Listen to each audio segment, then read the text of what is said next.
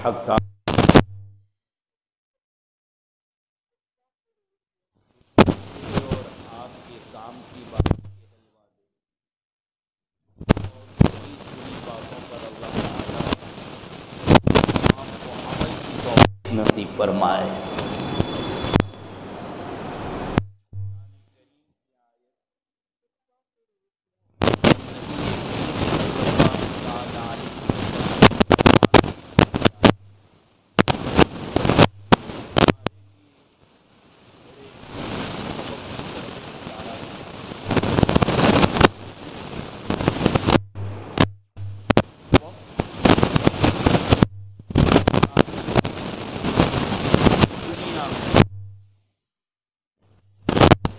माँ चार है वो किसी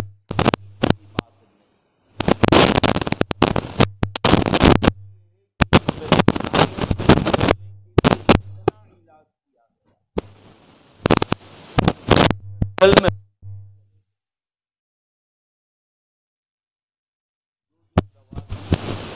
बचा गया इस्लाम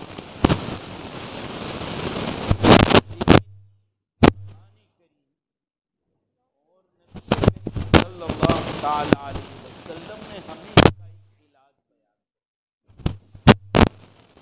इन हालात से अपने आप को बचाना है वक्त से और फिक्रों से नजात पाना है। की आदत दो लफ्ज हैं। एक है तोबा और दूसरा है इस्तेगफार। तोबा के माने हैं, गुनाहों को छोड़ देना। और इस्तेगफार के माने हैं, जो गुनाह किए हैं, उस पर मुआफी मांगना, माफ़ी तलब करना, बख्शिश तलब करना। आमतौर पर तोबा की जगह इस्तेगफार और इस्तेगफार की जगह तोबा बोला जाता है। खैर, मेरे भाइयों, हम में से कोई अपने पाक होने का दावा नहीं कर सकता। वैसे भी कुरान करीम ने कहा, फला तुसक्कू अनफुसकुम अपने आप को पाक न बताओ। वो आलम बिमन इत्तका। वो अल्लाह खूब जानते हैं कि कौन कितने तकवा में है। हम कितने पानी में हैं, ये हम नहीं जानते। जानने वाली जात अल्लाह की है, हमें अपने आप को पाक नहीं कहना। बल्कि हदीस पाक में फरमाया कुल्लु बनी आदम खत्ताऊन कि, कि तमाम के तमाम बनी आदम इंसान गुनहगार अपने अपने एतबार से। लेकिन फरमाया खैरुल खत्ताईन तवाबून। सबसे ज़्यादा अच्छे लोग जो कसीरुल खता है मगर कसीरुल तौबा है। यानी कसरत से गुना भी होते हैं, लेकिन वो कसरत से तोबा भी करते हैं, मुआफी भी मांगते हैं। जैसे मैंने इब्तदान कहा कि हर परेशानी का इलाज अल्लाह ताला ने तौबा और इस्तेफार में रखा। हमारे अकाबरीन में, बुज़ुर्गों में एक बुज़ुर्ग गुजरे हैं, हज़रत हसन बसरी रहमतुल्लाह बड़े अल्लाह वाले शख्स थे, जिनके मुतालिक लिखा है कि जब वो रास्ते पर चलते थे तो ऐसा लगता था कि कोई एक ऐसा नौजवान जा रहा है जिसके बाप का अभी अभी इंतकाल हुआ और वो अभी अपने हाथों से कब्र में उतार कर आया। अंदाज़ा लगाइए एक जवान बेटा जिसका अपने बाप से ताल्लुक भी बहुत ज़्यादा हो। बाप बेटे में मोहब्बत भी बहुत हो। और ऐसा बाप उसका इंतकाल हो जाए तो बेटे की तबीयत पर क्या असर होगा उसका? हम समझ सकते हैं। हज़रत हसन बसरी रहमत पर अल्लाह का खौफ, अल्लाह की आजमत इतनी छाई भी रहती थी कि हमेशा वो रोने वाले थे, रोते रहते थे अल्लाह डरते रहते थे कि अल्लाह की पकड़ कब आ जाए? अल्लाह नाराज़ हो जाएँगे। मैं कैसे अमाल करूँ? इतने नेक शख्स इतने अल्लाह वाले इतने बड़े आदमी। हज़रत हसन बसरी रहमत के पास लोग आते रहते थे। कोई आकर कहता कि हज़रत, कारोबार बिल्कुल ठप पड़ गया है, चलता नहीं है। कहते इस्तेफार करो, तौबा करो। कोई आकर कहता कि कमाता तो खूब हूँ, लेकिन बरकत नज़र नहीं आती। का इस्तेफार करो। कभी कोई आकर कहता, हज़रत शादी की उम्र हो गई, बड़ी हो रही है, उम्र शादी नहीं हो रही। का इस्तेफार करो, शादी हो जाए कोई आकर कहता, शादी हो गई, बीवी ना फरमान है का इस्तेफार कोई आकर कहता, बच्चे नहीं हो रहे, दुआ कीजिए। कहा कि करो। पर आज जो भी अपनी परेशानी लेकर आता, उसको इस्तेफार के लिए हुक्म फरमा। करीब में बैठे हुए लोगों ने कहा, हज़रत, और कोई चीज़ है या नहीं आपके पास? जो आया, जो परेशानी लेकर आया सबको आप एक ही इलाज बतला रहे कि तौबा करो गुना छोड़ो इस्तेफार करो। और कोई चीज़ है या नहीं आपके पास? जवाब देते कि, प्यारे, मैं क्या करूँ? जबकि कुरान करीम में अल्लाह ताला ने खुद इर्शाद फरमाया कि सारी परेशानियों का इलाज इस्तफार में अल्लाह ने फरमाया। और वो हज़रत नूह के वाक़े में बयान किया सुर नूह में फकुल तुस्तगफिरू रब्बकुम इन्नहु कान कि तुम अपने रब से इस्तेफार करो, माफ़ी तलब करो, गुनाहों की माफ़ी मांगो। ये मत डरो कि हमारी माफ़ी होगी या नहीं। नहीं, तुम्हारे जाने में देर लग सकती है, उसके राज़ी होने में देर नहीं।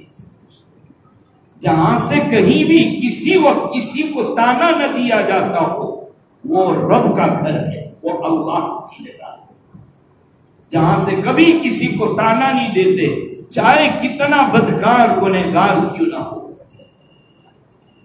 सबसे जल्दी मन जाने वाली जात राज़ी हो जाने वाली जात अगर कोई है तो वो अल्लाह की जात आँख उठाने, आँख उठाकर नीचे रखेंगे नहीं, उससे पहले वो माफ़ कर देगा इन कान गफ्फार युरसिल समा अलैकुम मिदरारा। क्या फरमा रहे हैं? अल्लाह ताला तुम्हारे ऊपर नफा बख्श, खूब बारिश बरसाएँगे। तोबा की बरकत से इस्तफार की बरकत से। बारिश भी खूब होगी, लेकिन ऐसी नहीं होगी जो सैलाब ले आए, जो नफा बख्श वयुदित कुंभ अमवाल व बनी अल्लाह तुम्हारे माल में, तुम्हारे कारोबार में, तुम्हारी औलाद में बरकत अता फरमाएँगे। माल भी खूब मिलेगा, बरकत वाला मिलेगा नफा बख्श मिलेगा, औलाद भी मिलेगी, औलाद मिलेगी, घोड़े की लात नहीं मिलेगी। नेक हो तो औलाद, और नेक न हो बदकार हो तो घोड़े की लात। औलाद मिलेगी, नेक मिलेगी, शरीफ मिलेगी खिदमत गुजार औलाद मिलेगी। एक बुज़ुर्ग के हालात में लिखा कि उनके पास कोई गया कि हज़रत बच्चे सिद्धि बहुत हैं, औलाद बहुत तूफानी है। तूफ़ान कंपनी के मैनेजर है सब। खूब सताते हैं, हैरान करते हैं, नाफरमान है। कहा कि अपने गुनाहों को याद कर, करके माफ़ी मांगो, अल्लाह औलाद को नेक औलाद के लिए नेक बनाना हो तो तुम अपने गुनाहों को याद करके माफ़ी मांगो।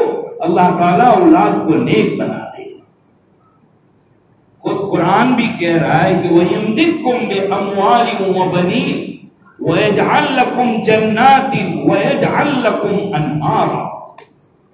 अल्लाह नहरें भी जारी कर देंगे। अल्लाह को ताला तुम्हारे बागात और खेतों में बरकत अता फरमाएँगे। यानी जितनी चीज़ें दुनिया में तुम्हारे लिए परेशानियाँ लेकर आती है, तुम परेशान हो, उन सबसे छुटकारा चाहते हो तो एक ही इलाज। वो हमारे यहाँ गुजरात के अखबारों में एक एडवर्टाइज आती है कि सौ बीमारी का एक इलाज, सौ तालों की एक चाबी। परेशान हो गई कि ऐसी तो कैसी चाबी है जो सौ तालों में लग जाती है? वो पेट के दर्द के और पेट के इलाज के लिए चूरन बतलाते हैं। सुफूफ पाउडर कि सारी बीमारियों का मरकज पेट है। पेट को सही कर लो, बीमारियाँ दूर हो जाएगी। तो ऐसे ही सारी बीमारियाँ, परेशानियाँ, उनका इलाज एक चाबी और वो है दो और आज हम इससे गफलत में पड़े हैं जबकि नबी करीम सल्लल्लाहु अलैहि वसल्लम के लिए आता है कि दीन में सत्तर मरतबा सेवेंटी टाइम्स या सौ मरतबा इस्तफार करते थे लेकिन ने लिखा है कि ये सत्तर और सौ गिन के हमारी तरह तस्बी के दानों पर नहीं, कि एक तस्बी सुबह पढ़ते थे एक तस्बी शाम पढ़ते थे इससे ये बतलाना है कि बहुत ज़्यादा चलते, फिरते, उठते, बैठते, जबकि हम लोगों का अकीदा है कि नबी मासूम होते हैं। नबी से कभी कोई गुना सरसद नहीं होता, लेकिन उसके बावजूद वो तौबा और इस्तेफार कर रहे हैं। और वहाँ भी ओलमा ने लिखा है कि नबी अपनी जात के लिए नहीं, बल्कि नबी अपनी उम्मत की तरफ़ से माफ़ी मांगते हैं। और कुरान की आयत इस पर दलील भी है। कि वलो अन्नहुम इज़्ज़लमू अनफुसहुम जाऊक फस्तगफरुल्लाह वस्तगफर लहुमुर रसूल लवजदुल्लाह तव्वाबर रहीमा। अगर तुम गुनाह करके आए और तुमने इस्तगफार किया, माफ़ी मांगी अल्लाह से, और रसूल ने तुम्हारे लिए माफ़ी तलब कर ली रहीमा। अल्लाह ताला को बहुत ज़्यादा तोबा कबूल करने वाला और रहम करने वाला पाओ। लिहाजा आज भी किसी को ये शहादत नसीब हो जाए कि मजार अकदस पर रोजा अकदस के ऊपर हाजिरी नसीब हो जाए, वहाँ जाकर भी अर्ज़ कर दे कि मैं गुनेगार आपके रोज़े अकदस पर हाजिरी देने के लिए आया हूँ और इस घर से आया हूँ। कि आप मेरे लिए अल्लाह से इस्तफार कर दे। उम्मीद है कि अल्लाह आज भी आपको खैर मेरे भाई तो मैंने जैसे शुरू में कहा कि तमाम परेशानियों का एक ही इलाज। हदीस पाक में नबी करीम सल्लल्लाहु अलैहि वसल्लम ने उनको बहुत मुख्तसर से अंदाज में बड़ी बड़ी बातों के तर्ज पर बयान कर दिया। मन लसीमल इस्तफार जिसने इस्तफार की आदत डाली, देखिए इस्तफार और तोबा। तोबा कैसे करनी चाहिए? एक तोबा तो वो है जो मैं और आप नमाज़ के बाद उल्टे हाथ से सीधा कान और सीधे हाथ से उल्टा कान खींचते हैं। बाद लोगों को देखा, वो ऐसा सब करते हैं। वो समझते हैं कि तोबा का हक और कुछ लोग कानों पर थप्पड़ लगा देते हैं, इधर उधर, समझते ये तोबा नहीं एक अंदाज है माफ़ी मांगने का, अंदाज है। असल तो ये है कि तोबा के माने ओलमा ने तोबा कबूल होने के लिए तीन शर्तें लगाई सबसे पहले अकल अनिल महासी गुनाहों को छोड़ दे। तोबा करने जब बैठे, पक्का इरादा कर ले कि अब मैं गुनाह नहीं करूँगा, छोड़ रहा हूँ। गुनाहों को उखाड़ फेंके। कला के माने आते हैं, दरख्त को जड़ से उखाड़ देना, जड़ से जड़ से निकाल देना। ये नहीं कि एक आदमी गुनाह भी करता जा रहा और तोबा भी करता जा रहा। ये तो ऐसा ही हो गया जैसे दो लड़ाई कर रहे थे उसमें से गाली बक रहा है।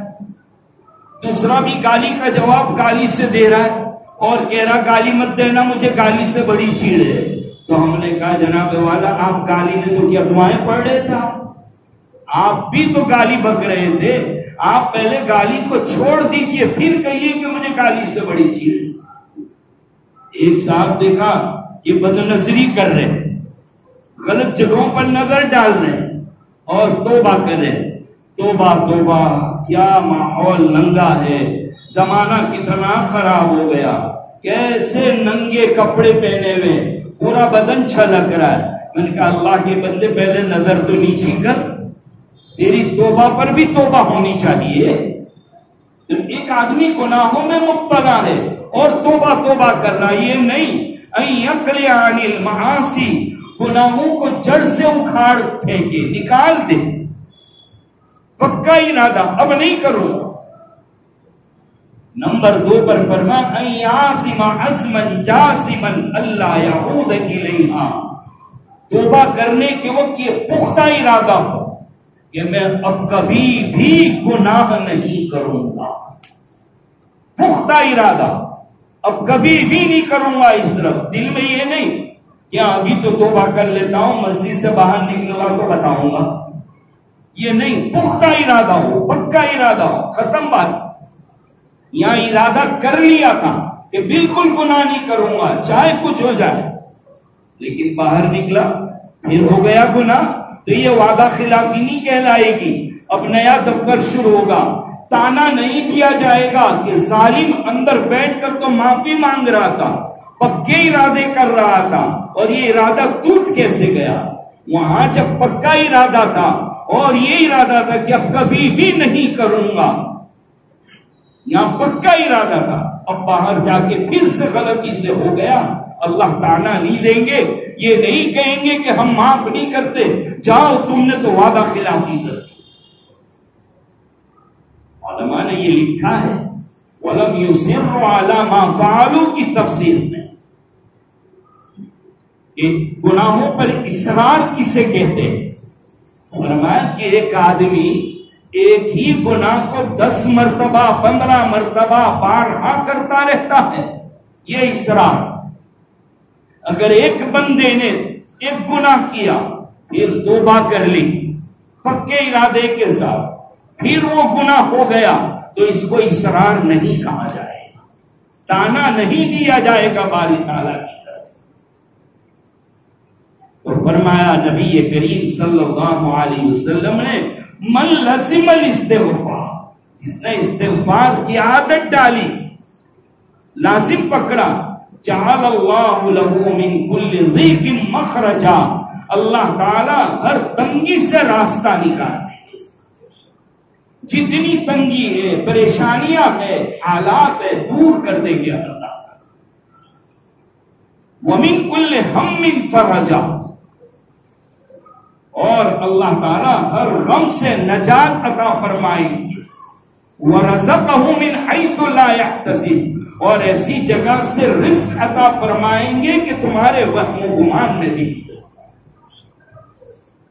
तुम्हें तोबा की और शराइ बतला रहा था कि तोबा कैसे किए जाए। तो सबसे पहले मासी वो अजमत, और वो अयंदिमा अलैहा। पुख्त शर्मिंदगी हो आज तक जो कुछ किया उस पर। और नंबर तीन पर यह है कि अल्लाह पुख्ता इरादा कर ले कि अब कभी भी ये दोबारा गुनाह नहीं कर लेकिन ये तीन शर्तें तो जब है, जब बंदे ने अल्लाह की नाफरमानी अगर बंदों के हुकूक दबाए हैं तो पहले वो माफ़ करवाना पड़ेगा या अदा करना पड़ेगा, तब जाकर अल्लाह माफ़ करेंगे।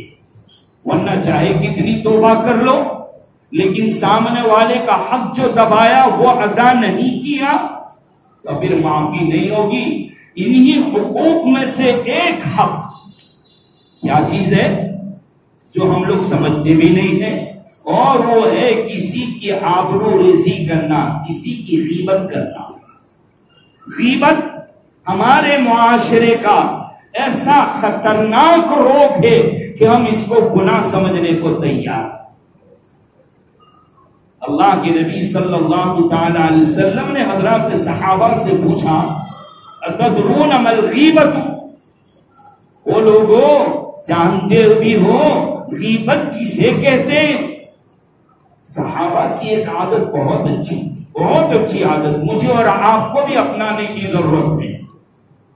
साहबा कभी भी सवाल पर यूँ नहीं कहते जी हाँ जी हाँ मैं जानता हूँ, और बोलना शुरू कर दे। जैसे हम लोगों की आदत है ना, कि भाई ओलमा बैठे हो, फिर भी हम एक आध मसला गलती से समझ गए हो, हम लोगों के दरमियान में बोलना शुरू कर देते ओलमा से पहले। नहीं, हम जो समझते हैं, जानते हैं, वो कम होगा, और ओलमा जो जानते हैं, वो ज़्यादा होगा। सहाबा ने भी यही कहा, अल्लाह रसूल वो आलम, कि अल्लाह उसका रसूल ज़्यादा जानता है। हम जो जानते हैं, वो कम जानते हैं। आप जो जानते हैं, वो ज़्यादा जानते हैं। लिहाजा ज़्यादा बतलाइए हमको। इसीलिए सहाबा आलम बने, बहुत ज़्यादा इल्म वाले बने, कि वो ओलमा के सामने बोल बोल नहीं करते थे, खामोश रहकर हासिल करते थे। और हमें हासिल इसलिए नहीं हो पाता कि हम ओलमा के ऊपर भी चढ़ जाते हैं कि गोया हम बहुत बड़े आलिम, अल्लामा दो चार किताबें पढ़ ली, हम अपने आप को अल्लामतुल्दहर समझने लगते हैं। नहीं ओलमा की मजिस मजलिस में कोई एक आलिम भी हो तो वहाँ बोलने की आदत न डालो, वहाँ सुनने की आदत डालो। अब ये सहाबा ने कह दिया, अल्लाह और उसका रसूल ज़्यादा जानता है। अच्छा अल्लाह के नबी सल्लल्लाहु अलैहि वसल्लम ने फरमाया, गीबत के माने किसी की पीठ पीछे उसकी बुराइयों का तस्करा करना। किसी की पीठ पीछे उसकी गईबूबत में उसके गुनाहों का तस्करा करना। तो सहाबा ने मेरे और आपकी तरह एक सवाल पूछ लिया कि मुझे गलत कहने की आदत नहीं है, मैं वही बुराई करता हूँ उसकी जो उसमें मौजूद है। हम लोगों का भी यही मिजाज है। क्या मैं गलत बोलने का आदि नहीं हूँ। मैं वही कह रहा हूँ जो उसने किया है। इसी का नाम तो गीबत है। इसी का नाम गीबत है। और गीबत इतनी खतरनाक चीज़ हम जानते नहीं। ऑटोमेटिक हमारे नाम आमाल में से जब हम गीबत करते हैं तो हमारी नेकियाँ जिसकी बुराई किए, उसके नाम आमाल में ट्रांसफ़र हो जाती यह हदीस शरीफ से साबित। जबकि मैदान कयामत में यह होगा कि एक नेकी के लिए बाप अपने बेटे को देखकर, बेटा अपने बाप को देखकर भागेगा कि कहीं एक नेकी का सवाल और यहाँ हम कीमत करके पूरी पूरी नेकियाँ दे देते हैं लोगों को। हज़रत मौलाना अहमद अली लाहौरी रहमत थे वो फरमाते थे कि भाई गीबत करना हो तो अपनी माँ की गीबत किया करो। किसी ने सवाल पूछ दिया हज़रत, किसी की नहीं और माँ की गीबत? कहा जी ये बदला माँ के एहसाना थे या नहीं तेरे ऊपर? कहा बहुत एहसान है माँ के तो। कहा अपनी माँ को आज तक कुछ दिया, उसका एहसान अदा कर दिया? कहा नहीं, हज़रत, कुछ नहीं दे सका, एहसान भी नहीं अदा कर सकता? अच्छा है ना जब गीबत करेगा तो तेरी नेकी तेरी माँ के पास चली जाएगी। तो कहा, माँ को क्यों तू नेकी? जब बेवकूफ़ माँ को नहीं देता तो गीबत जिसकी कर रहा है, वो तो तेरा दुश्मन है, तेरा मुखालिफ है, तेरी उनके साथ बनती नहीं है। तो जो तेरा दुश्मन है, उसको तेरी नेकी तू देने के लिए तैयार हो गया, उसकी बुराई कर करके। मेरी बात समझ में आ रही है? जब गीबत करेंगे किसी की भी तो हमारी नेकियाँ उसके पास चली जाएगी। और जब नेकियाँ खत्म हो जाएगी तो हो सकता है कि उसके गुनाह यहाँ चढ़ा दिए जाए मेरे भाइयों तो ये गीबत एक हमारे समाज का बड़ा खतरनाक रोग है। हमारे हज़रत थानवी रहमत ने नकल किया है कि किसी की पीठ पीछे उसकी गईबूबत में अगर तुमने बुराइयाँ किए, उसके गुनाहों का ज़िक्र किया है, अगर उसको पता चल गया, अगर उसको पता चल गया, तब तो हज़रत फरमाते हैं कि उससे माफ़ी मांगनी पड़ेगी। वरना बगैर माफ़ी के चले गए तो कयामत के दिन दावेदार होगा। माफ़ी मांगनी पड़ेगी, अगर पता चल गया है तो। और अगर उसको पता नहीं चला और आप बुराई करते रहे तो फिर दो रकात नमाज़ पढ़कर अल्लाह से माफ़ी मांग लो कि अल्लाह मैंने जिसकी बुराई की, उसकी इज़्ज़त में तरक्की अता फरमा, उसकी रिस्क में बरकत अता फरमा, उसको तरक्यात से नवाज़ दे और मुझे मुआफ हमें डर लगा रहता है कि भाई माफ़ी मांगने जाऊँगा और सामने वाला माफ़ नहीं करेगा तो? एक सवाल होता है ना, उसका जवाब बहुत अच्छे से दिया। कि हदीस से पाक में फरमा जब तुम्हारे पास कोई माफ़ी मांगने आए कि भाई, मैंने गलती की है, तेरी कीमत की है, मुझे माफ़ कर दे तो तुम माफ़ कर देना। मैं तुमको उस दिन माफ़ करूँगा। ये माफ़ करने वाले, मैं तुझे उस दिन माफ़ करूँगा जिस दिन तुझे माफ़ी की बहुत ज़रूरत होगी। हर एक आदमी को ज़रूरत है, कयामत के मैदान में। और अगर तूने मुआफ नहीं किया, अगर तूने मुआफ नहीं किया तो अल्लाह फरमाते हैं कि याद रखना, मैं भी तुझे कयामत के दिन माफ़ नहीं करूँगा। कितनी बड़ी बात। खैर मेरे भाइयों तो हुकूकुल इबाद एक ऐसी चीज़ है कि जब तक इसको मुआफ नहीं करा लिया, या इसका हक अदा नहीं कर दिया, हमारी तोबा भी कबूल नहीं हो गया एक तोबा जिसको इजमाली कहते और एक तोबा तफसीली। इजमाली तोबा तो ये, ए अल्लाह, मैं बहुत गुनेगार हूँ माफ़ कर दे, बहुत गुनेगार हूँ माफ़ कर दे। ये इजमाली तोबा, और तफसीली तोबा, ज़िंदगी में किए हुए गुनाहों को याद करो। जो जो गुनाह किए, याद करो, ए अल्लाह, मेरे से वो गुनाह भी चूक से और भूल से हो गया था। यूँ मत कहना जानबूझकर किया था। नहीं, अल्लाह ने खुद मना फरमाया। कुरान करीम में माफ़ी मांगने का तरीका भी बतला दिया। रब्बना ला तुआखिदना इन नसीना औ अख्ताना ए अल्लाह, मत पकड़ कर मेरी उन गुनाहों पर जो मुझसे चूक में हो गई। अंजाम जानते थे कि इसकी पकड़ कैसी है, लेकिन उसके बावजूद वक्ती तौर पर गफलत आ गई और गुना हो गया। कोई बंदा जानबूझकर गुना नहीं करता। अल्लाह भी ऐसे अल्लाह क्या कहते मेरे बंदे, तू जानबूझकर गुना नहीं कर रहा है।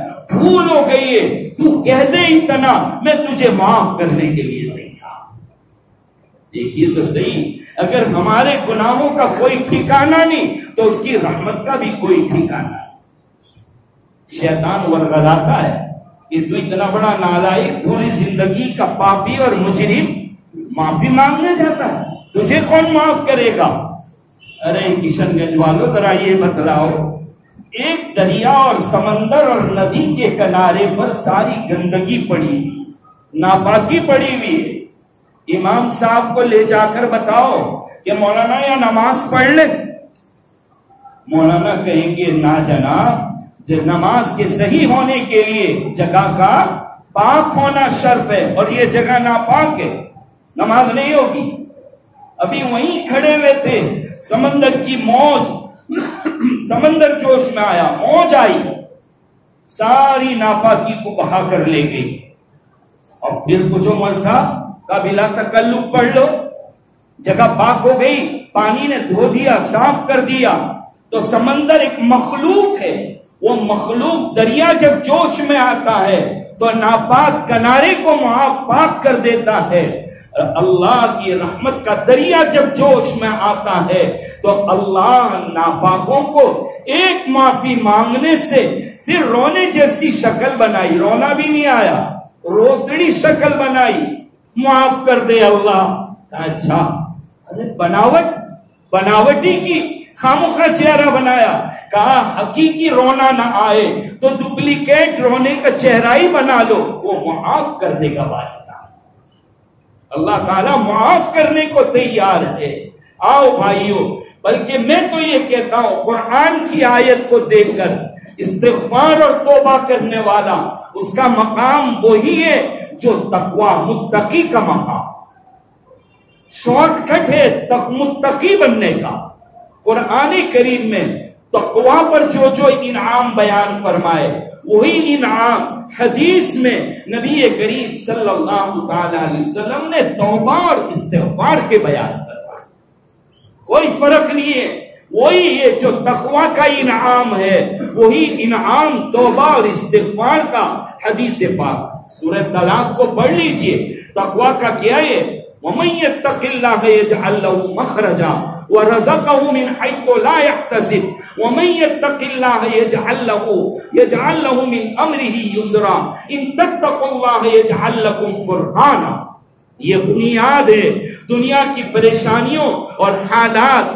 चाहे आप ये कहो, वो जीत गया, ये हार गया, वो हालात है मुसलमानों पर, ये कुछ नहीं है। सब हमारे गुनाहों की नाउसत का नतीजा है। खुद कुरान कहता है, वमा सबकुम में मुसीबत जो मुसीबत पहुँचती है तुम्हारे करतूत की वजह से है। सहरल फसाद बिमा कसबत दिन नास। जो कुछ लोगों को पहुँच रहा है, ये तुम्हारे अपने करतूत की वजह से लिहाजा करे किया जहाँ से बात शुरू की थी, वहीं पर आ जाइए कि दो बार अस्तफार की आदत डालो। देखो, ये मत ख्याल करो कि मैं पापी मैं पापी, मैं मुजरिम नहीं नहीं, वो अल्लाह ताना नहीं देंगे। बस जरा से दो आँसू मक्खी के सर के बराबर भी निकल आए।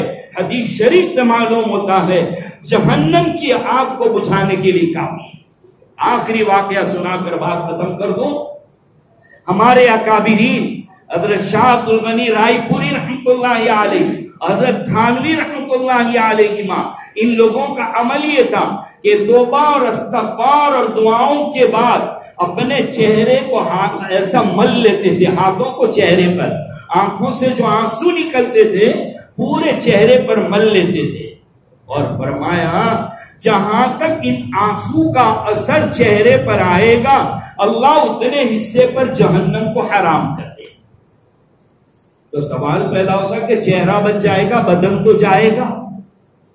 अरे अल्लाह के बंदे, ऐसे मुल्क में रहकर सवाल करते हो, जहाँ ट्रैफ़िक खूब होता है, और कहते हैं कि गाड़ी का अगला व्हील जो है, वो घुसेड़ दो, गाड़ी को खुद ब खुद निकल जाएगी। हम तो उस मुल्क में रहते हैं। भीड़ लगी हुई चारों तरफ़ से सब गाड़ी पर बैठे हुए भीड़ खूब लगी हुई है। अरे कैसे निकलेंगे? अरे अभी ठहरो। एक अगला विल घुसेड़ दिया। सामने वाला दो गाली देगा जगा दे देगा ही निकल जाता है। तो ये अगला विल चला जाएगा जन्नत में तो पूरी गाड़ी चली जाएगी। जाएगी कि नहीं जाएगी? हमारे हज़रत थानवी रहमतुल्लाह अलैह ने वाकया नकल किया कि हज़रत आलमगीर रहमतुल्लाह अलैह वज़ू करने बैठे थे। कहीं एक राजा का बेटा, राजा का जब इंतकाल हो गया तो उसके बेटे को पब्लिक चाहती थी कि ये उसका नाइब बने, खलीफा बने। लेकिन बादशाह और राजा का भाई चाहता था कि मैं हुकूमत पर कब्जा कर लूँ। लेकिन पब्लिक चाहती थी कि जवान बने। कहा, हज़रत आलमगीर के पास लेकर चलो, वो हिंदू है, वो आ रहा है। कहा, हज़रत आलमगीर इसको हुकूमत के गुड़ समझा देंगे। हज़रत आलमगीर के पास पहुँचे। हज़रत वसू फरमा रहे थे, हज़रत ने हाथ पकड़ा उसका जब करीब गया तो कहा कि तुझे हौज में डाल दूँगा। तो वो हंसने लगा। हज़रत ने कहा, बेवकूफ़, मैं हौज में डालने की बात कर रहा हूँ, तू हंस रहा है? तो कहा कि हज़रत, पहले ये तो पूछ लीजिए, मैं हंसा क्यों? कहा, बता दे।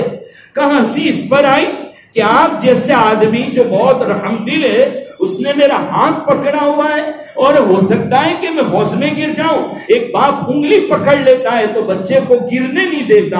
आपने तो पूरा बाजू पकड़ लिया है। कैसे हो सकता है? हज़रत थानवी फरमाते एक गैर मुस्लिम को इतना यकीन है कि दिल ने जब हाथ पकड़ा है तो मैं गिर नहीं सकता। मुसलमान को इतना यकीन नहीं है कि मेरा अल्लाह चेहरा जन्नत में डाल देगा तो बदन को भी भेजेगा जहन्नम में। क्या काट कर भेजेगा अल्लाह? नहीं मेरे भाइयों, मायूस होने की ज़रूरत नहीं है। हाथ उठाने में देर लगेगी, अल्लाह के राज़ी होने में देर नहीं लगेगी। अल्लाह मुझे और आपको मरने से पहले पहले सच्ची तोबा की तोफीक नसीब फरमाए अस्तफार की आदत नसीब फरमाए वहाँ खुदावाना अलहमदिल्ला